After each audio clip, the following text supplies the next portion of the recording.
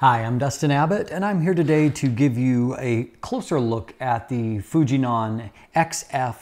This is the 16 to 55 millimeter f2.8, and so it is the standard zoom portion of their, you know, fast wide aperture um, Zoom trilogy here or Trinity.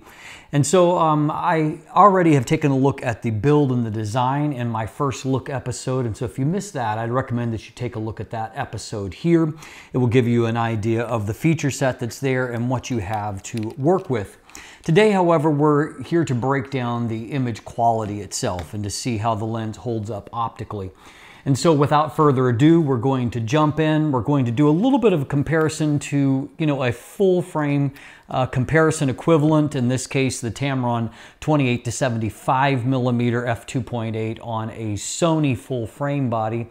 So we'll take a look at how the two lenses compare. Right now, they're fairly close in price. And so, um, you know, two different approaches and probably two different ways that people might shop and compare. And so we'll jump in and we'll take a look.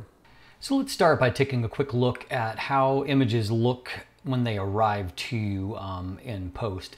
What we can see is um, obviously vignette is uh, you know nicely corrected for so we've got a nice even illumination across the frame uh, due to the in-camera magic but what we can see is that there is definitely some distortion that escapes correction and so you've got a fairly pronounced uh, bulge of barrel distortion that you can see there in this top line. If we jump over to a real world image here that I took while in Myrtle Beach, South Carolina, uh, you can see on the, you know, the very straight horizon line or what should be a very straight horizon line of the Atlantic Ocean, you can see that the same issue is there. And so, uh, you know, if, if you're in a situation where having absolutely straight lines at 24 millimeters is going to matter to you, you're probably going to need to do some correction of that in post. Now right now you can get the uh, Tamron 28 to 75 millimeter f2.8 for full frame for you know about the same price. It's about $20 cheaper at the current moment with the Fuji on sale than what the Fuji is. And so it's a somewhat comparable lens and I think that really people that are looking at something like a Fuji X-T3 they're more likely to be cross-shopping it with a Sony a7 III than say a Sony a6500 or something similar now, I don't have an A7 III, unfortunately, which would have been the even better comparison because then you're closer in price. So I did use a Sony a7R III, which is what I personally own. But what I did here is I reduced the size of the Tamron images to the resolution of the X-T3 to give you an idea. Now, um, I will note also that, you know, before we look at any of these comparisons, and I'm just going to add in the F 2.8 wide open comparisons from the Tamron um, rather than anything further than that. But I do want to point out one thing and that is that the Fuji goes both wider, it's a 24 millimeter equivalent compared to 28 millimeters. It also goes a little bit longer, about 84 millimeters equivalent compared to 75 millimeters but it is roughly similar, a focal length. But I just do want you to note that the Fuji is managing a little bit longer a focal range or uh, you know, a, a zoom range, I should say. And so that should be taken into account here. Now, what we see looking at the center of the frame is that both of these lenses are extremely sharp in the center of the frame. And I would say that there is a mild edge to the Fuji um, when it comes to center of the frame sharpness and contrast. It looks really uh, fantastic there. However, if we move off to the side, the uh, Tamron shows that it has a much stronger edge performance. And so a, a more even uh, distribution of sharpness across the frame and you can see up into the extreme corners. But particularly if you're looking like mid-frame area, look how much sharper the Tamron is further out than what the uh, Fuji is.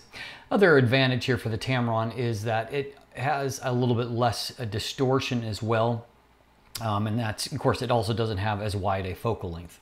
Now, if we stop down the Fuji to X4 or, F4 and compare it to F2.8, we can see center of the frame, there's really not a whole lot uh, of difference to be seen. Um, if we look out towards edge of the frame, what we can see is that the uh, sharpness profile continues out just a little bit further. However, we still have not cleaned up the corners completely. There's a little bit more resolution a little farther out, but the extreme corners are still, you know, a little bit soft. Moving on down to f5.6, we see a again a mild amount of, of improvement, but not a complete corner sharpness at uh, 16 millimeter. Even at f8, we still don't have uh, tack sharp corners. They're a little bit better, but uh, you know there is still a little bit room of room there for improvement. Now, while I haven't actually um, reviewed yet the 16 millimeter f1.4, I wouldn't be surprised to find that it delivers a little bit stronger corner performance uh, than what the zoom does. And so, you know, if absolute performance in the corners is your priority, you might want to look at one of the prime lenses uh, instead of the zoom. Um, zoom we can see is great. I mean, just fantastic in the center of the frame and probably about over two thirds of the frame. But the extreme corners at 16 millimeter or 24 millimeter equivalent never get super sharp. So if we move to the 22, 23 millimeter range, you know, roughly 35 millimeter range on full frame, uh, here's what we find. In the center of the frame, both lenses really are exquisitely sharp, and you can see that the uh, Tamron is sharper than what it was at 28 millimeters at 35. Uh, and probably has a little bit more micro contrast. It's just got a little bit more pop on the textures. Moving off to the side of the frame, there is, uh, the Fuji is a much better job of maintaining an even sharpness profile. And so now I don't really see any kind of real advantage for the Tamron off the edge of the frame. And both lenses look fairly similar, which is to say really quite good at 35 millimeters. Stopping on down to f4 shows a mild, mild amount of improvement in the middle. It's already exceptionally good, just a little bit of additional contrast. Moving off to the edge of the frame, uh, we find that there's just a, there is a little bit stronger resolution off the edges, a little bit better contrast. We've got a, a very strong performance here already, and it is, you know, mildly improved at F4. F5.6 gives us another, again, a very, very mild boost of corner contrast and sharpness. And I looked on at f8 and it's no better than f5.6 and so um, here at 35 millimeters or you know 23 millimeters going to be the marker on your lens. Um, you're, you're pretty much getting optimal sharpness at f4 to f5.6 and no need to stop on down for resolution's sake. Now at uh, 34 millimeters or you know around 50 millimeters on a full frame, we can see at the center of the frame the uh, Fuji is a little bit softer at this focal range, kind of somewhere in the middle. It loses a little bit of the pop. It's still good, but you can see that the Tamron is noticeably better. It's, it's incredibly sharp and contrasty in the center of the frame, even at f2.8. If we move off to the side of the frame, um, there's less of an advantage for the Tamron. Both lenses look pretty much similar. And so while the center of the frame is not as sharp as what we've seen um, on the Fuji, we've seen that it also has a really even profile here at around 34, 35 millimeters. Um, whereas the, the Tamron is super sharp in the center and, you know, comparatively loses a little bit along the edges. Now here, for the first time, we see a real improvement stopping down to f4 in the center of the frame. You can see that there is a, a pretty marked uptick of resolution in the center of the frame and contrast also has increased. At the edge of the frame, there is a mild improvement, but it's not as notable as what it was in the center. Um, along the edge, this is a very, very strong performance, but as you can see, it's not as, as observable a big uptick. But you can see though, as there's better resolution, the brighter portion is brighter here, and so a little bit stronger performance. Moving on to f5.6 uh, makes really very, very little difference. Um, it's I, I think there is a there's a fraction more resolution there, but you know, again, once again, at 34, 35 millimeters, if you're shooting at f4 to f5.6, you're achieving pretty much peak peak sharpness across the frame. And again, I tested at f8 and I didn't see any improvement over f5.6. Now finally at the end of the focal range, uh, first of all you'll see that at 55 millimeters or around 84 millimeter equivalent, there's definitely, uh, it's framing tighter than what the Tamron is at 75 millimeters. Um, and so, I mean, you definitely have a, a, focal range advantage, a zoom range advantage, I should, should say. In the center of the frame, both lenses are really fantastically sharp um, at f2.8. They both look great, and, and I don't know that one looks better than the other. They just both look fantastic. Off the side of the frame, they seem to have a fairly similar uh, fall off to where they're both quite good, but not as amazingly sharp as in the center of the frame, but not a whole lot of drop off. Looks like the Fuji has retained a little bit more contrast if you look in the grout area there than what the Tamron has. Stopping down to F4 in the extreme corner, you can see that we've got a little bit of a brighter result, a little better uh, contrast in general. That being said, there's, there's only a very, very mild uptick in resolution. And so you're already getting a very strong performance at f2.8. It's only mildly better at f4. Stopping on down to f5.6 shows once again a little bit of improvement, not a significant amount, but a little bit better uh, contrast and a little bit more resolution. Um, you can see that a little bit more mid-frame and then down towards the bottom, you can see a little bit stronger performance. And so once again, um, you do get a little bit of improvement. Usually throughout most of the focal range around f5.6 is going to represent peak sharpness in terms of evenness across the frame. But as you can see, the lens is pretty sharp at f2.8, other than around 35 millimeters, it's sharp in the center of the frame at, at basically any aperture value.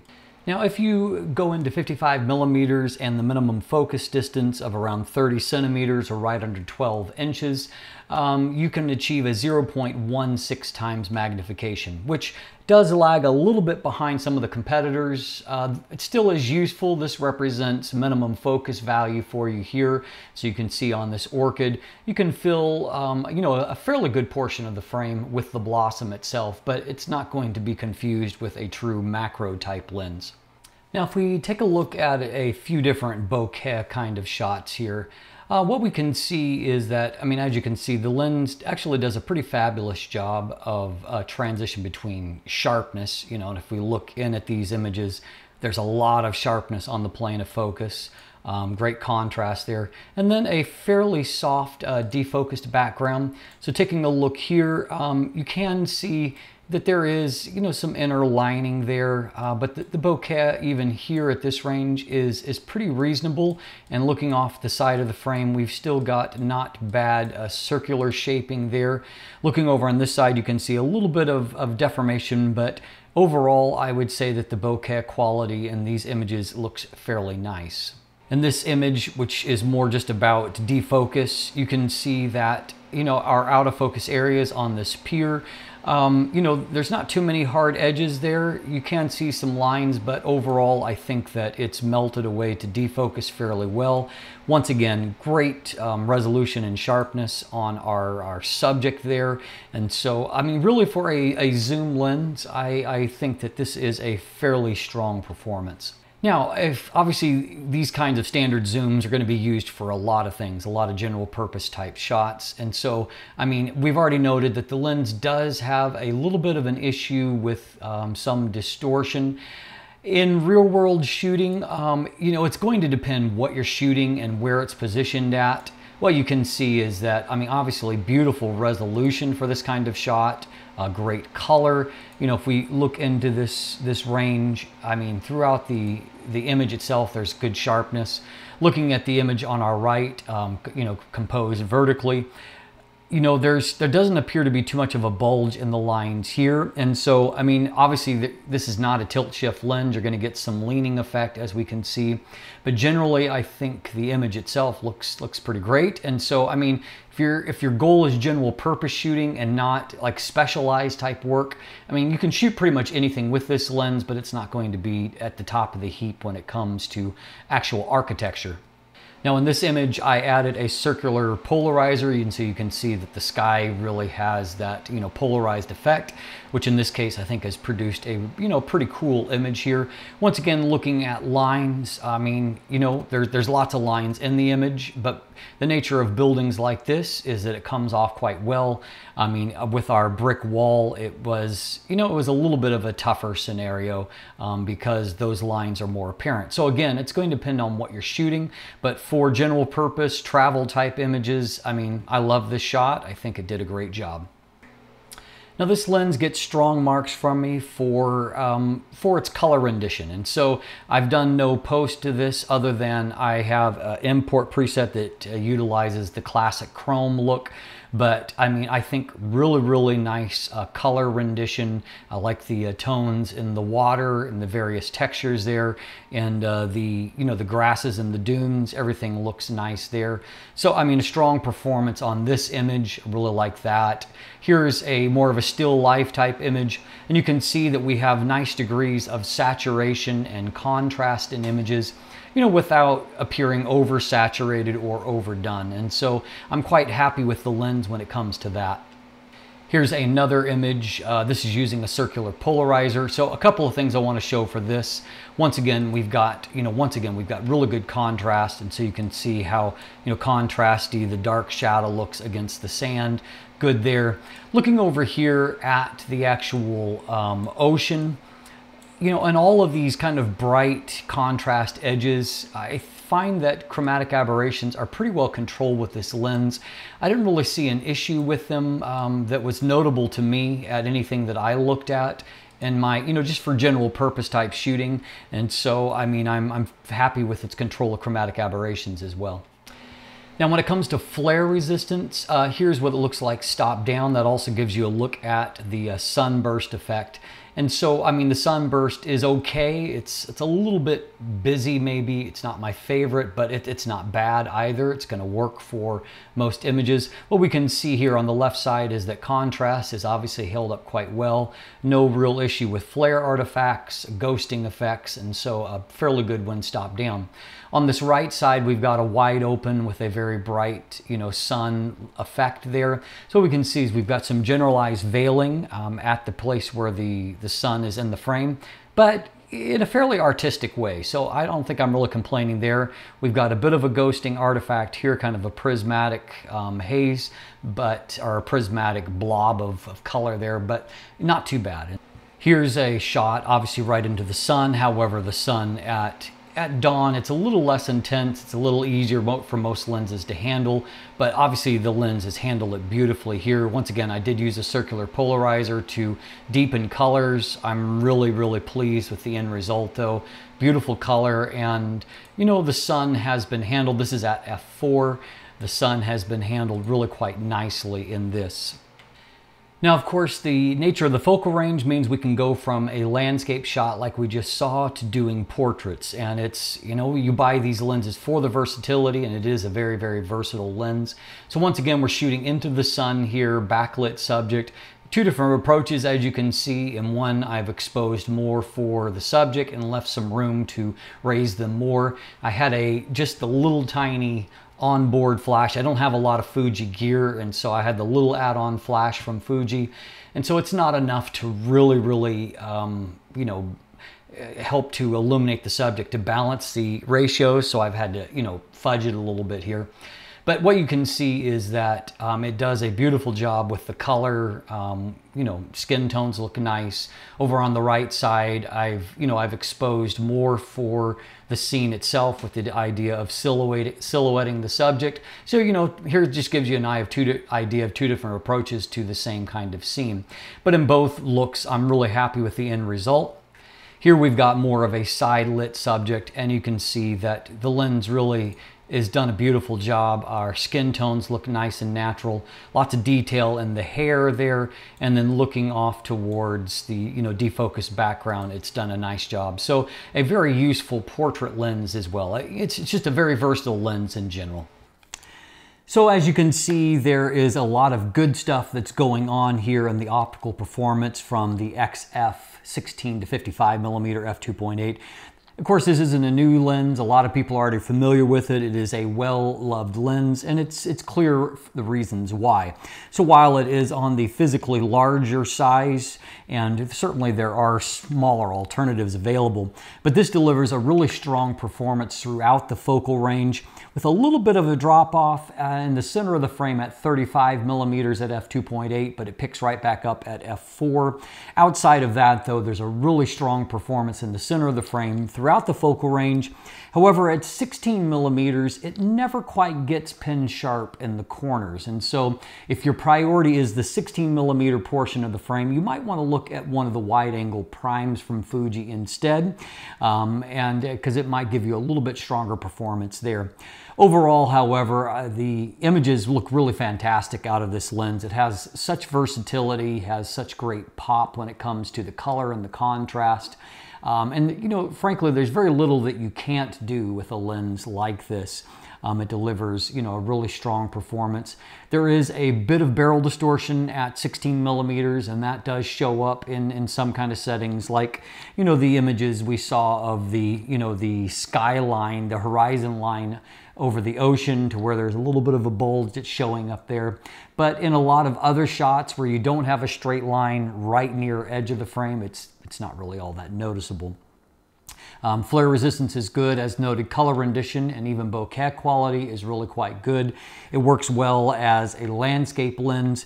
And In our final episode, we'll take a little bit more at video performance and auto uh, autofocus performance and how those aspects carry out. But at the same time, I mean, we're seeing a lot of really encouraging things to go along with a very robust, you know, pro grade build, as we saw in our first episode, complete with weather sealing and, uh, you know, linear motors for focus. A lot of good things that have gone into this lens. So stay tuned for my wrap up episode, which will be the final one in the series. And we'll look at those things as well as giving you a summation of uh, my opinion of the lens and also give you a look at a few more photos. In the meantime, if you'd like to take a look at my lens image gallery, I've got a lot of great photos there from this lens. Um, and so I'd recommend that you take a look at that. There's a link in the description down below.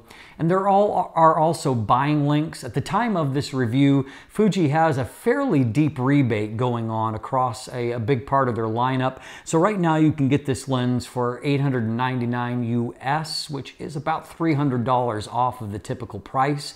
And so it's, you know, if you're interested in buying it, this is a good time to do it. And there are buying links there. You can also follow me on social media, including now on Instagram Instagram. Um, you can sign up for my newsletter or become a patron and get early previews at upcoming content. And beyond that, of course, if you haven't already, please click that subscribe button right here on YouTube. Thanks for watching. Have a great day.